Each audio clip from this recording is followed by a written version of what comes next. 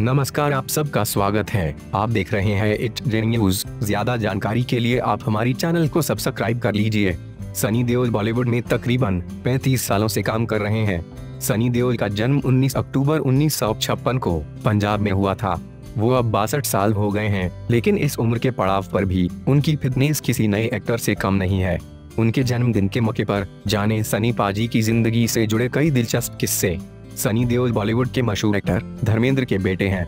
इस बात का पता उन्हें बचपन से ही था। यही तो वजह थी कि कई बार वो स्कूल के दोस्तों पर रौब जमाने के लिए धर्मेंद्र की जीन्स पहन कर जाते थे। वो कहते थे, यह जीन्स मेरे पापा ने शोले में पहनी थी। सनी को अभी भी अपने पिता धर्मेंद्र से डर लगता है।